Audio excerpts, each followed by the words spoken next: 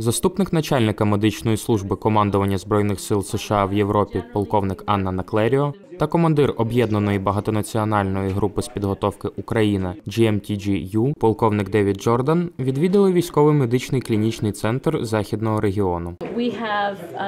В міжнародному центрі миротворчості та безпеки працює чимало американських військовослужбовців, які беруть участь у підготовці українських бійців. Тому здоров'я наших воїнів також залежить від цього медичного центру. Минулого року, на жаль, ми мали і хворих, і травмованих американських військовослужбовців, але якість медичної допомоги, яку надав госпіталь, була дуже високою, і ми вдячні за це.